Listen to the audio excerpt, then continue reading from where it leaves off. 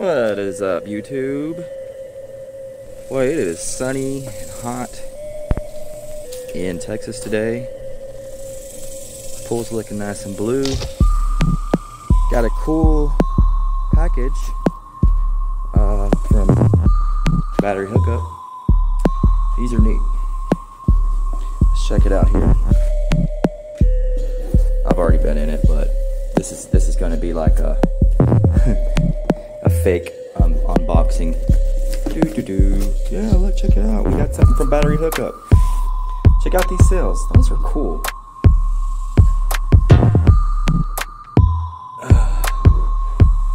So they got like a package deal, eight of these cells for like, I don't know, 220 bucks or something like that. These are, let's see, what? 55 amp hour, 6280 cells. So they're 60 millimeter by 280 millimeter lithium iron phosphate. They're supposed to be brand new. I think they got them in pre-built packs and they were just stored. I don't know. Um, I'm gonna build a pack with them on this battery. There is a like a plated nickel side and then there is an aluminum side. And I'm assuming that's because like either the anode or the cathode, I don't know which one, uses copper and the other one uses aluminum. But it's pretty important in my opinion, and this is probably the reason why it came like this, is to use, it came with a, an aluminum nut. And this one is, I'm assuming is mm, some kind of plated nut. I don't know if it's copper or whatnot. But the plated nut's going to go, of course, on the copper plated side. And the aluminum nut's going to go on the other side. Why do you want to do that? Well, because if you understand anything about corrosion, galvanic corrosion, you'll know that dissimilar metals will cause galvanic corrosion. So when they are, if there's a different kind of metal touching another kind of metal, and there's any kind of moisture in the air, it'll get between there, and the galvanic corrosion process will occur. And what that'll do is it'll strip, uh, you know, um, particles from one side, from one metal, and, and, and try to deposit it on the other. And it just eats it up. It eats it'll eat one side up and deposit whatever it ate up uh, onto the other metal. The other thing is when I got these cells, these these terminals were a little nasty. Like they they had debris. Um, they had some debris in them, and I don't know where that was from. I don't know if they had some kind of um, paste or something. I don't know.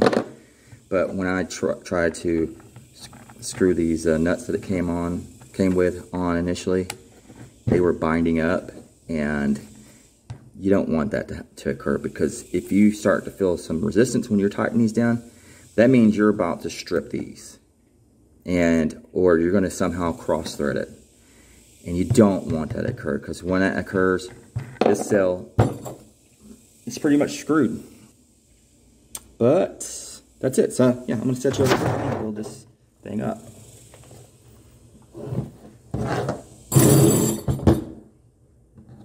Let me see if I adjust this.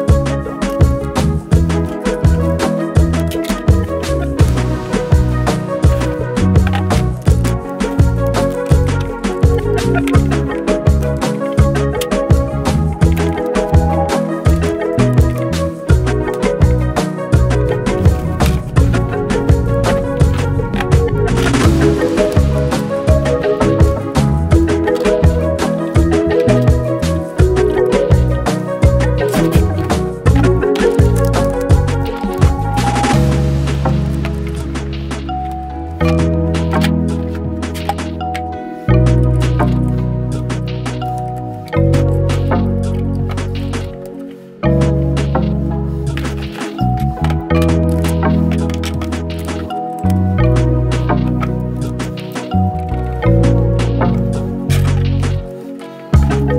right, charge in.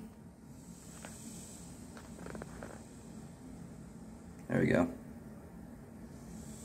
These are these are staying fairly balanced. I don't have a balancer or anything going here. I just got the balance leads. Uh, just wire wrapped around the, the nut right now. Don't judge. This is just temporary. But uh, it's nice and sunny. There's 900 watts of solar running into this thing. Let's see what uh, we're charging at. P we're getting uh, 20 amps from the PV. Uh, 22.2 amps going into the battery. Alright, so it's about midday. It is ex exactly midday. So we'll come back to do the discharge test.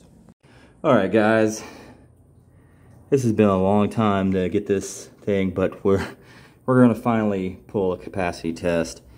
I let it charge up on the solar. Um, there were a couple cells that weren't super balanced with the rest of them, and I did wire them all up in parallel and let them balance over a couple days, which I didn't show you in the video, but I did do that. But uh, I, guess, I guess that didn't get them uh, very well balanced. I did not actually apply a, a balance voltage to them, so that's probably why. But uh, let them charge up, and uh, there were a couple, like I said, that were uh, out of balance. It's probably about 180 so millivolts out of balance and uh, well I wanted to get them in balance and hooked my balance charger up to it and it had a hard time trying to get them in balance. And then I broke out the Heltec and uh, I know you guys have seen me ranting and raving about that. And well it got them in balance. So right now they are about 29 30 millivolts out of balance. So I'm going to say that's pretty good. Uh, I'm just ready to do a capacity test on this and whatnot. So that's what we're going to do. And without further ado, I'm going to turn on the inverter. And I'm going to try to pull 1C. Looks like we've got 30 amps right now. So I've got to connect something else.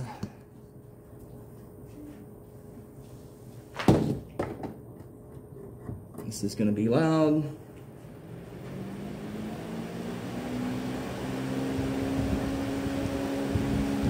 Uh, so I've got a fan and a heater. Maybe I can turn the heater up. Yeah, I can turn the heater up. So that shot us over a little. Let me unplug the fan. Uh, so slightly over a 1C. These are 55 amp hour batteries. Let me try to see what that does. So that's, I don't know if I can get right at 55. Let's see what the fan does.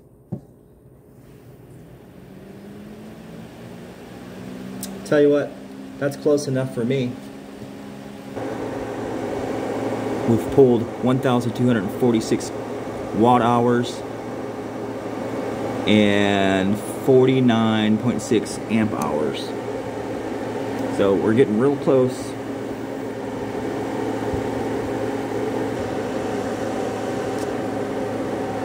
I just went ahead and turned that fan off because it was driving me crazy so the current dropped a little bit. Let's see where we're at. Look at that. We're almost at 57 amp hours, so these are past their rated capacity. Uh, no cell has reached 2.5 yet. We're still at uh, 2.7. One cell dipping into 2.6. Okay, one cell hit 2.5, so I killed the test there. Let's see what we got. 58 amp hours. 1,445 watt hours. So uh, these cells are exceeding their rated uh, capacity of 55 amp hours. So they're actually reaching 58 amp hours. That's uh, fantastic. I'm very pleased with this. So that was uh, a long time coming actually for me. You guys won't know that, but I went through uh, several days of charging and uh, dealing with the other things that we have to deal with in life. Uh, but yeah, 58.023 amp hours and 1,445 watt hours. Let's take a look at the. Um, so they've recovered. Uh, this cell number one was the one that hit 2.5, and the second that it, I saw it dip to like 2.49, and I killed the test. Uh, I had the Heltec balancer in the whole time, uh, so I don't know if that uh, made any difference. But there you have it. These cells rock, man. Um, get you some while they last. See you guys next video.